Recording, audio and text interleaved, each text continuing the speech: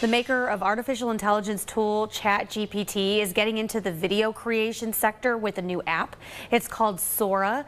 Users just have to type or tell the app what they want to see, and this app will create a short video. It sounds useful, but with every new technology, we often report on how it can be misused.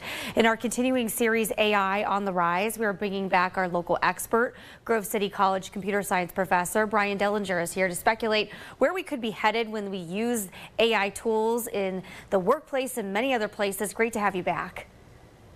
Thank you, Lindsay. Great to be here. Yeah, so the maker of Chat GPT and now Sora appears to be expanding. They teased this Sora concept. So you and I last spoke about Chat GPT in August of last year. Would you say that app is becoming more widely used in the education setting where you are, or is it more so in the workplace at this point? I think uh, we might distinguish between illicit and illicit uses.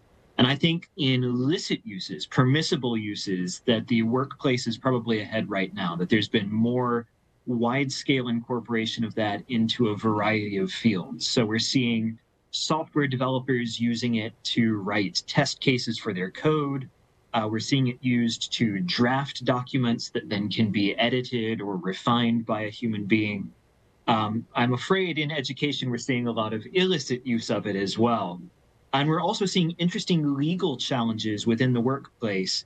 Um, an interesting case out of uh, Canadian airline this past week or two, where they had a custom chat bot that was giving advice to customers buying tickets, wound up giving bad advice, telling someone that they could get some money back in a way that they could not and uh, and the person was forced to take them to court in order to prove that they were liable for advice that their chatbot had given. So both some ups and downs in recent weeks in our our uh, incorporation of it into uh, workforces. Oh, that's a lot of drama because you all know how we love customer service. So, of course, something like that has to happen to a customer.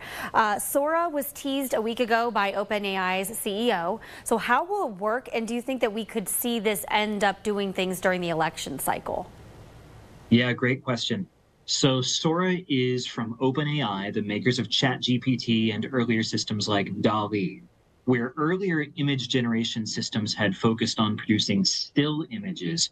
Sora is designed to produce moving video, so continuous video without maybe some of the effects you've seen in earlier AI video where everything sort of morphs and distorts from moment to moment.